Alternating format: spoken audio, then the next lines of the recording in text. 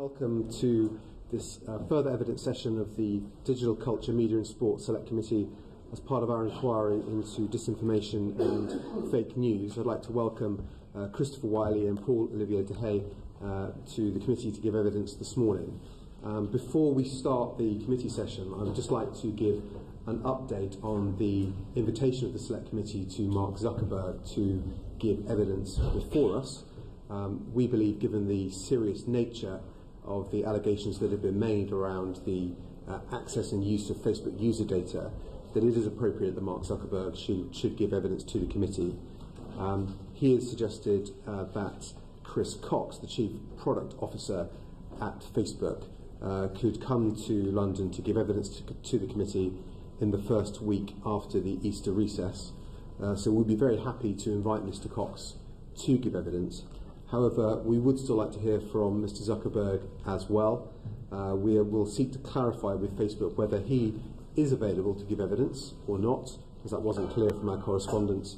And if he is available to give evidence, then we will be happy to do that either in person or by video link, if that would be more convenient for him. Um, if they're any, happy to answer any further questions about that after the hearing, but uh, um, that is all we'd like to say on that at this time. Um, we turn now to the evidence session this morning. Um, if I could ask um, Chris Wylie first. Um, as you know, a lot of uh, the committee's work over the last few weeks has been looking at the role of Cambridge Analytica in the data analytics business and their campaigns, and we heard evidence from Alexander Nix a few weeks ago. Um, perhaps you could, for the benefit of the committee and the record, just explain how you first became involved with Alexander Nix and Cambridge Analytica. Sure. So um, I first uh, joined SCL uh, Group, which is the parent company of Cambridge Analytica, actually before Cambridge Analytica existed in June 2013. Um, I got introduced to him uh, through a mutual contact uh, that I had worked with uh, previously in UK politics. Um, the firm uh, SCL had an opening uh, for a research director, um, be, in part because the past research director uh, died in his hotel room in Kenya um, when he was working for Uhuru Kenyatta. Uh, I didn't know that at the time. Um, part of the reason why I got uh, chosen to become research director is because they were the firm was looking to expand uh, its digital capacity um, and and sort of keep up with developments that were happening, particularly on the military side, um, looking at how information spreads online and um, developing uh, new IP that they could then, you know, pass on to clients, whether that's political or military. Does that answer yes, the question? Absolutely. Yeah. And um, could you just again, for the record, just explain how long you uh, work, worked at, at and with Cambridge Analytica and what caused you to leave the company? Sure. So um, when I started in, in June 2013, um, Cambridge Analytica didn't exist yet. So uh, my and it's important for people to understand that you know Cambridge Analytica is more of a concept or a brand than anything else because it doesn't actually have employees. It's all SCL. It's just the front-facing company for the for, for the United States. Um, but I uh, I started at SCL Group in June 2013. Um, I in July 2014. That's when I told Alexander Nix that I didn't want to continue uh, working at, at, then at the time Cambridge Analytica. Um, although I, I uh, scaled down my work until the uh, 2014 midterms. Um, so, uh, so a year and a, a, year and a bit, a year and a half. Um, and it, Cambridge Analytica, just to be clear, was set up in large part because of the research that I was doing at SCL Group. So it was it was a, the the IP that we were creating um, was acquired by Robert Mercer, and Cambridge Analytica became the vehicle to sort of acquire that IP. Yeah. Mean, how would you, how would you you said that, that, that Cambridge Analytica doesn't have any employees that effectively they're all employed by SCL. Yeah. Yeah. Mean, how would you characterise the relationship between these different companies? I mean, is it in effect one organisation that exists behind different different facades? Yeah, I mean, so Cambridge Analytica was set up in part because, first of all, it, it there was um, so the, the way it works is CA was set up and um, SCL Elections, which is um, part of SCL Group, which is a group company. SCL Elections uh, became a minority shareholder, and then Robert Mercer became the majority shareholder of Cambridge Analytica. Um, SCL then assigned its intellectual property to Cambridge Analytica, and then Cambridge Analytica licensed back the IP to SCL Elections. Uh, and then also granted SCL Elections an exclusivity contract whereby all projects from Cambridge Analytica uh, would would be given to SCL to work on, although the actual contracting on the client-facing side would be with Cambridge Analytica. Partly that was because in the United States there's particular rules against um, uh, foreign actors in elections, so having an American company was beneficial for that purpose.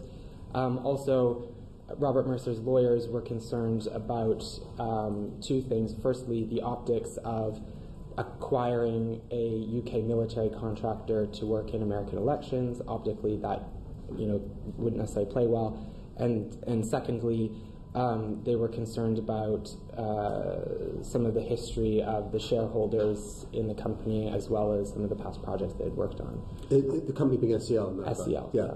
So Cambridge Analytica was a kind of um, a, a, a, company set up with the, with the purpose of doing political work in, in America. In the United States, with, with a new brand that was sort of untainted by any history or legacy of, of, of past projects or shareholders. Yeah. I mean, a lot of people will um, say, and are saying, um, that given you're someone who worked very closely with these people uh, for a period of time and understand this world very well and have you know, built your career working in it, why have you decided to speak out against it and give evidence against people who used to be your colleagues?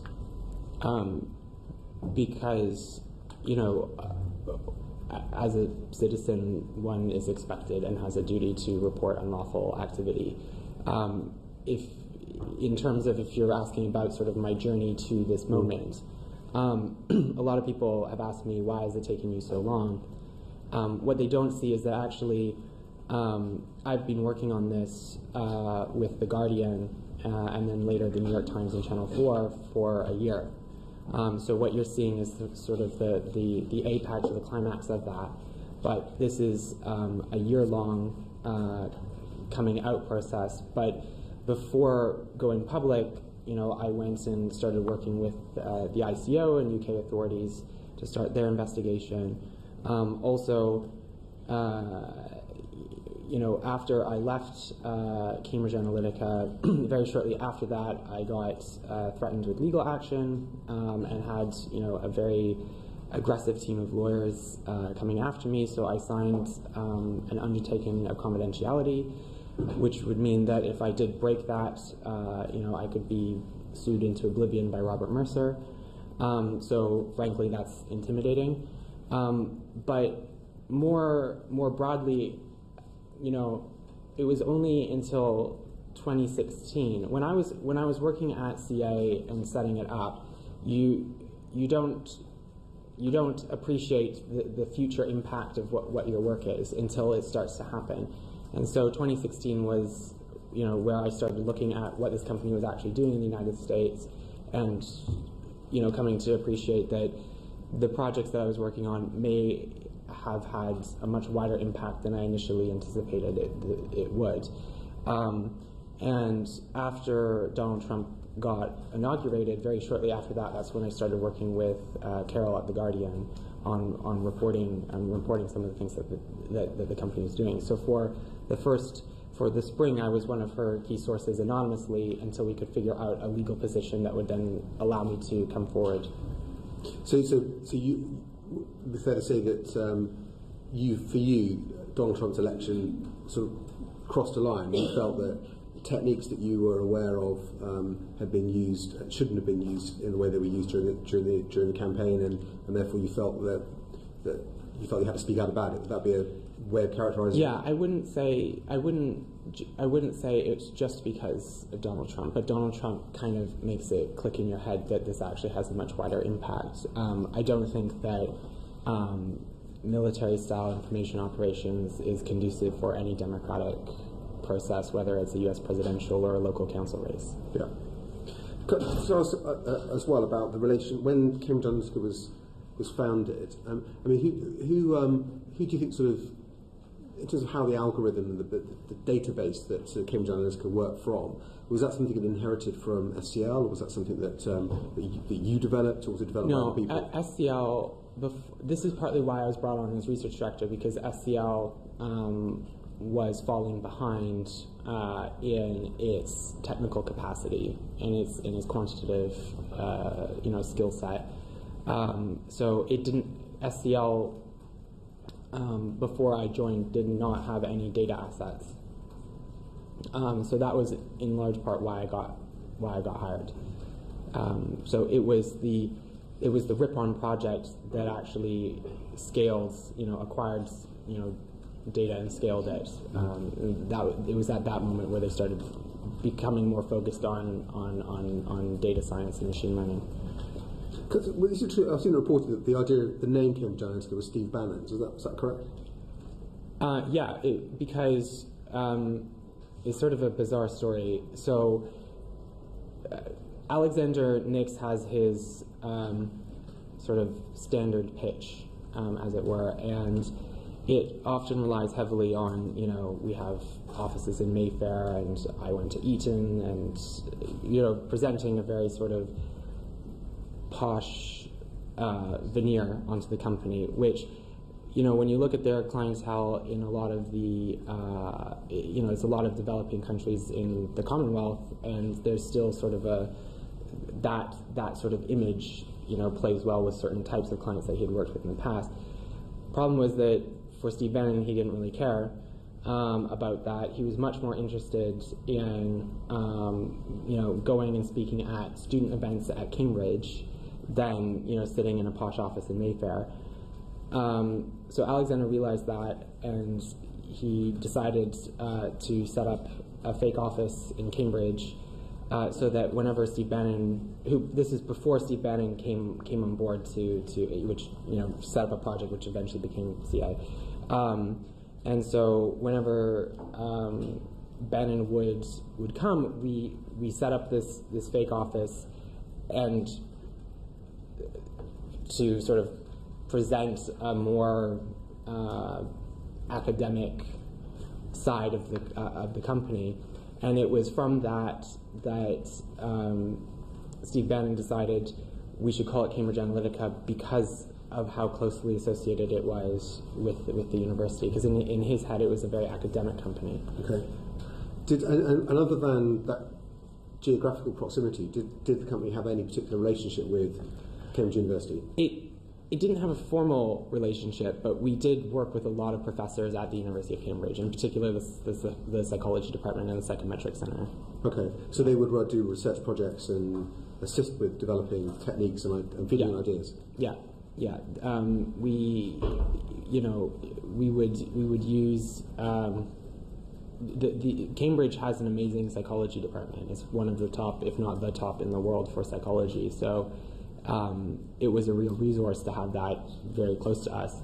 So we did work with uh, several professors at the psychology department on developing um, psychometric inventories and also looking um, more broadly at the research that was coming out of the university in uh, psychological profiling using online data exhaust. Um, so, you know, a lot of the papers that eventually became um, the the uh, foundation of the methods that were then used on the Ripon project, um, that all came out of research that was being done uh, at the University of Cambridge, um, some of which uh, was funded in part by DARPA, for example, which is the U.S. military's research agency.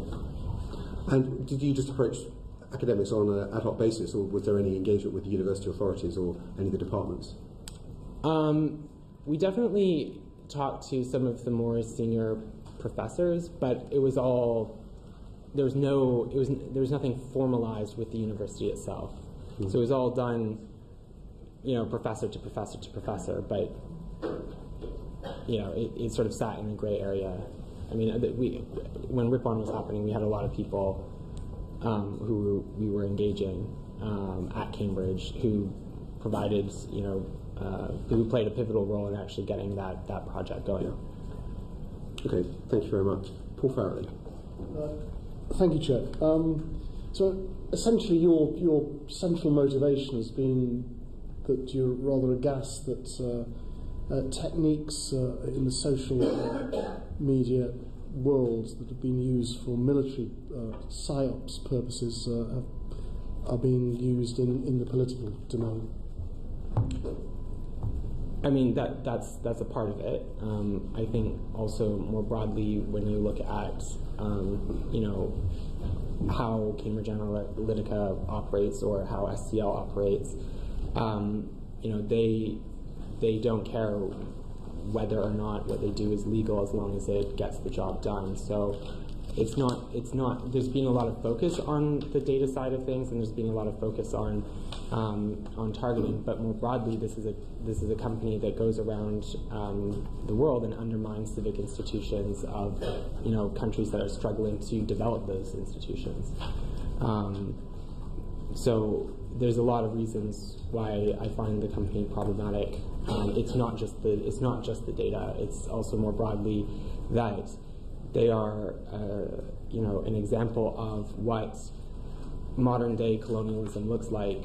Um, you have, you know, a wealthy company from a developed nation going into, um, you know, a, an economy or a democracy that's still struggling to get, you know, its feet on the ground um, and taking advantage of that to profit from that. Uh, so there, there's there's there's several reasons why I find the company problematic. So do, do they sort of like to have an aura, do you think, of uh, being the SMERSH of, uh, of the modern digital age? The SMERSH? SMERSH. So James Bond, uh, the, the, the, uh, the evil organization that manipulates things uh, here, there, and everywhere across the world. Um, I, I think, you know, if you, if you watch you know the Channel 4 Undercover, for example, I think you can see for yourself that they they know that that's the you know the the brand that they present and they cultivate that. Um, I think they they find it amusing. No, I, I can I, I, I, sort of get it, and uh, I didn't quite know what to make of Mr. Mr. Nix uh, when he came to us. Apart from that, he was a, a corporate financier who sought. Uh, uh, a sort of a, a, higher calling, as he as he almost said it to us. But I, I do remember on, on the Channel Four, one of the most hilarious bits was um, a chap called Mark Turnbull, who got a big plaster on his nose, I think, mm. uh, saying that he was a master of disguise.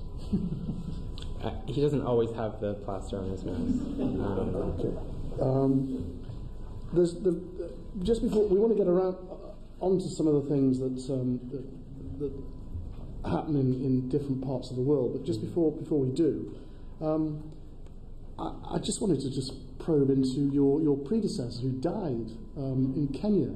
Yeah. Was was that? I, have not heard of that. Working for the Kenyatta campaign. Uh, yeah. Were there any suspicious circumstances? Um, I've heard several different stories as to what actually happened, so um, I don't know which story is accurate. Um, but uh, it it didn't sound. You know, when you work in, in, in Kenyan politics or politics in a lot of African countries, um, if a deal goes wrong, you can pay for it. So is this a matter of public record, or is this this new now? Um, he well, Dan, who's my predecessor, he was it. His death did uh, caused some news coverage in Romania because he was the son of one a cabinet minister in Romania who is now in, in jail for corruption charges, I think. But um, uh, so he, he came from a political family in Romania. So the fact that he died was news, uh, but uh, the circumstances of his death, I've heard different different stories, so I'm not sure which is. And his name was Dan. Dan, um, his surname starts with an M, and I, Muresan. Yeah, Dan Muresan. Could you spell that just for the record? M-U-R-E-S-A-N. He was working simultaneously in India, I think, and there's also some Simultaneously in, in India. Yes. I mean, this, when, when you look at Facebook's uh, biggest market, um, I mentioned this in the States as well, you know, India is the top in terms of numbers of users, and uh, obviously that's a country where, you know, which is, which is rife with, uh, with political discord and, uh, and opportunities for, um, for destabilization. So um, that, They, they've worked extensively in, in India. They have an office in India. I think that's might, something we might want to pursue, pursue later. But just, just, just, just on this point, when you were told that there was a vacancy because your predecessor died uh, in, in, in Kenya, what explanation did the company give to you of, of that death? Uh, just to just to clarify, when I got hired, I wasn't told that my predecessor died in Kenya in his hotel room. Uh, that was several months after when I asked about who was I actually replacing, um, because I was looking for some old files and I couldn't find. So, I did realize that I didn't actually know the name of the person who I replaced. So I asked about, you know, kind of looking through old files was, and that's where it came out that he died. so it's the same question two months on then. What explanation were you given of the. Uh, how old was he? Do you know? Uh, he was in his 30s. Um, Did they give you an I, explanation? I, I mean, they did. I, I just if I if I explain it, just if you understand that it's pure speculation. So Sure. it's not. I'm not stating this as a matter of fact. I'm just repeating, you know, what I heard. Um, what I heard was that he was working on some some kind of deal of some sort. I'm not sure exactly what kind of deal it is, but when you when you work for senior politicians in a lot of these countries, you don't actually make money in the electoral work. You make money in the influence brokering, you know, after the fact. Um, and that a deal went sour, and again, this is what I've been told, so I'm not saying this as a matter of fact, but um, people suspected that he was poisoned in his hotel room. I also heard that um, the police got bribed to not enter the hotel room uh, for 24 hours. Um, but that is what I was told. I wasn't there, so I can't, you know, speak to the, the veracity of that account. But that's that's what I was told. Okay, well, we'll we'll leave that there for the moment because there are plenty of journalists who might want to follow some of those interesting leads. Um, one of the things that um, uh, as uh, Mr. Nix was at pains to to um, uh, stress when when he was in front of us was that you know, there were there were different companies, uh, different entities. Uh, data uh, could go one way but not another way because of uh, government contracting. But um, there, there was one one name that came up uh, uh, as as the data control that was common between Cambridge Analytica and SCL, just almost demonstrating that you know there were common personnel, notwithstanding the. Uh, uh, the denials was, was a lady called Jordana Zeta. Do you, do you know do you know her? Um, I do not. No, No. So she, it's just a name. It's just a name, but they do put lots of random names on all kinds of things. Okay. Um, there's, there's also we've we've just been I don't know whether you've seen that, which is a which is a, a pictogram of, of the of the SCL structure. It's uh, Sure. been done by uh, an, independent journalist, and it's just from filings at uh, Companies House, and, uh, and Sure. um, so it's fairly standard, but it's it's, it's fa- fairly fairly complicated um, for, for a relatively I, I'd small wager that there's probably more companies Yeah. than even what's on that piece of paper. Um, but there are some interesting sort of names that, that crop up. The, the, Mr. Nix we, we know about. Um, Yeah. Uh, sort of Etonian salesman, I think you, you, you almost described Yeah, him as. I mean, he, he, he uh, my understanding is that the reason why he, Alexander Nix, was involved in SCL was because his father had shares in the company and his father died. He inherited shares, or there was some deal that was done um, because he has no background in um, psychology, tech, uh, you know, uh, uh, politics, any of the things that they operate in, um, which is which is why he you know he's a he, he's a salesman. He likes to sell stuff. Um, Uh, and while I was cooking Sunday lunch uh, um, this weekend, I, I listened to a BBC profile of, a, of Nigel Oakes. right. Did you come across him? Um, yes, although not day to day. He he. Um, what, so when we were when we were setting up um, Cambridge Analytica, the, the reason why it um, one of the reasons why SCL Elections rather than um, either the group company or another entity was the minority shareholder was because Alexander Nix wanted to keep more control for himself, and he was quite paranoid about some of the other shareholders and directors in the in the group company. Um, so he made a concerted effort to sort of keep this project away from uh, from the others as long as possible. Um, but I did, I did come across him several times. It's just mean, what I'm saying is that it wasn't day to day. I didn't I didn't work with Nigel Oakes, Mr. Oakes came across as a founding eminence grise. Sorry. Uh, from this profile, Mr. Oakes came, came across as the founding eminence grise behind the whole of the, the whole project. Uh, no, no, not for Cambridge Analytica. For, for, for SCL, yes, For but not for Cambridge Analytica. Cambridge Analytica was Steve Bannon, Robert Mercer, and Alexander Nix. You know, most of those They had the negotiations happened focus. happened in America. They kept it pretty separate from the from the sort of legacy shareholders and directors of SCL. But he, he he played a pivotal role in actually setting up SCL Group. Can Uh, I- so so Can I just throw the, the, the role of a couple of other, other people? Uh, the, the, role of the chairman, Julian Wheatland, uh, yeah. who, uh, and uh, uh, Victor. Uh, uh, uh, which I don't, he he they got rid of Tchenguiz's uh, when when they were finalizing the Cambridge Analytica deal because the the Mercer lawyers didn't like Tchenguiz's involvement because apparently he had fairly sketchy uh, business dealings that they didn't want to be associated with. Okay. And Julian Wheatland, what was his role? he was I, I believe the chairman so he didn't actually he didn't sort of do much um, he sort of was like the queen of the company if that makes sense So, so you, you not, don't to, sorry not to say that the queen doesn't do a lot I'm- I'm sorry just- that, I don't, don't interpret that as a slight of yeah. Meathead, sort. I'm just putting, putting these other names up in because there's, there's a danger that you, one focuses just on, on, on Mr. Nix, who's got a very sinister surname. Yeah. Um, so a lot of the a lot of these a lot of these guys, their role is not actually to do work; it's to do deals, right? So they don't actually do anything day to day. They're the ones who, you know, because of their family or because of their businesses or, or what have you, just have a very wide network of people, not just here in the UK, but in particular in, in Africa and various developing countries that um, you know enable the companies to go and get and get working contracts.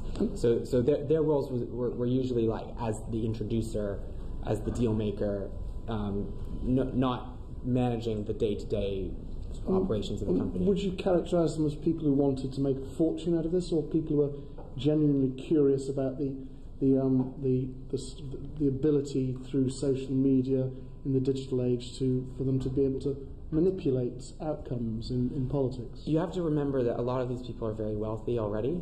So it's not, you know, Alexander Nix in particular, right? Um, there was there was one time where he had to go, and we were running late because he had to pick up a two hundred thousand pound uh, chandelier. So so he, he you know, th- th- there's there's these are people who don't need to make a lot of money, um, but the thing that I learned is that for certain wealthy people, they need something to keep them occupied and they need projects.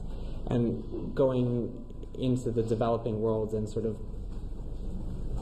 running a country is something that appeals to them.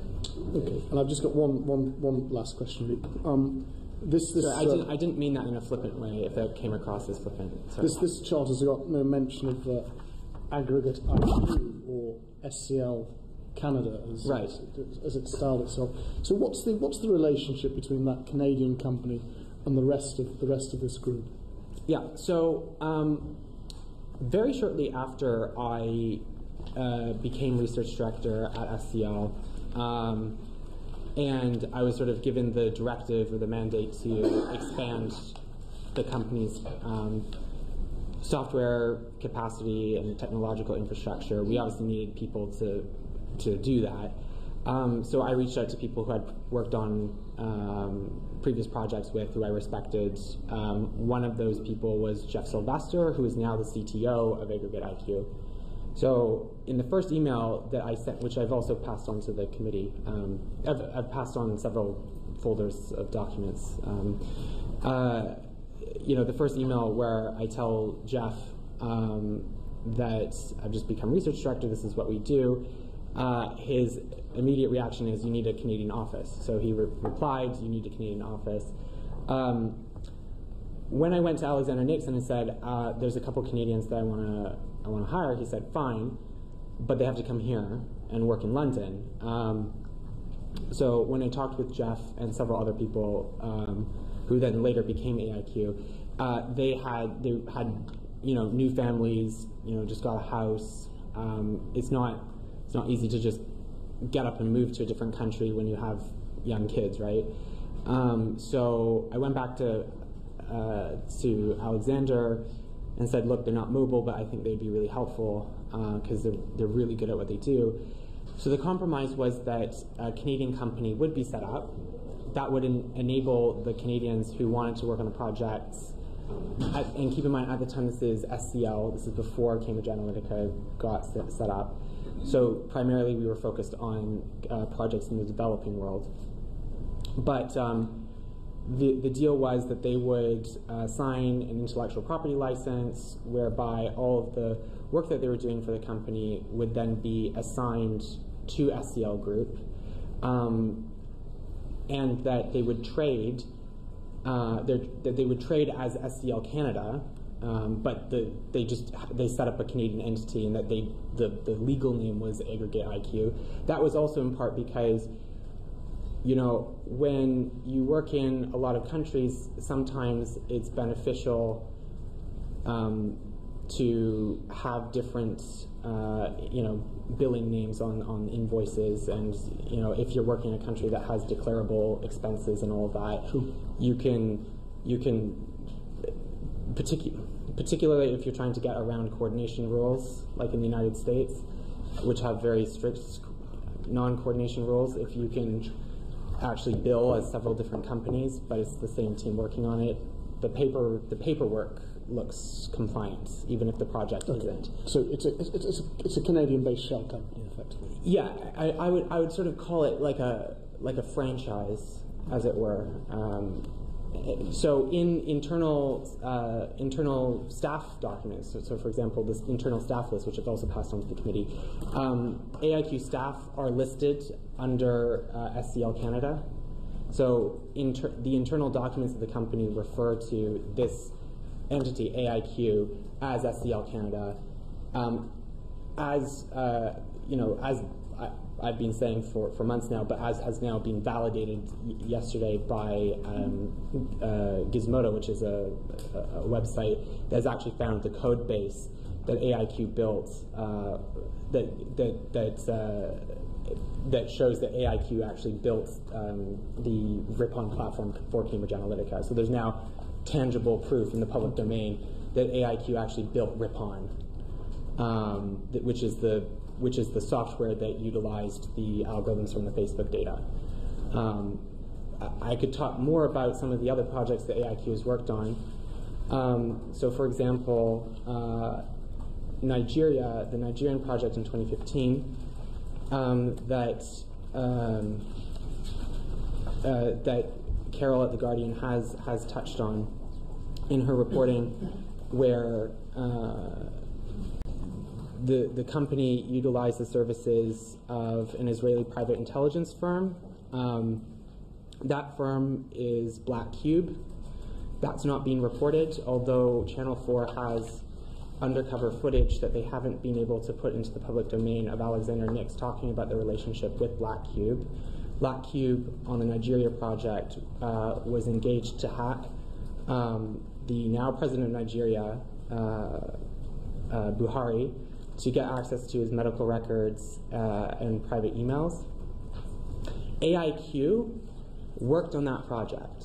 So AggregateIQ was was handed material uh, in in Nigeria from Cambridge Analytica to distribute online. So that's distribution of compromat, and that's also distribution of incredibly uh, threatening and violent video content, which I've also passed on to uh, to the committee.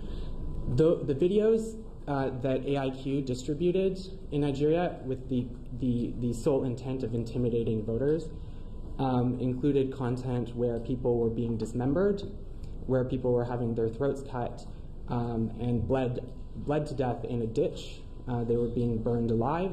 There was uh, there's uh, incredibly anti-Islamic uh, and threatening messages portraying Muslims as violent and um, this is again the, the so you've got AggregateIQ which received 40% of Vote Leave's funding also working on projects that that involved hacked material and compromat and distributing uh, violent videos of people being bled to death uh, to intimidate voters. And this is, this, is, this is the company that played an incredibly pivotal role in politics here. Um, so something that I would strongly recommend to the committee is that they actually, uh, you know, push the, not only push the authorities here, but really give them, uh, you know, the, the support that they need in order to actually investigate this company and what they were doing in Brexit.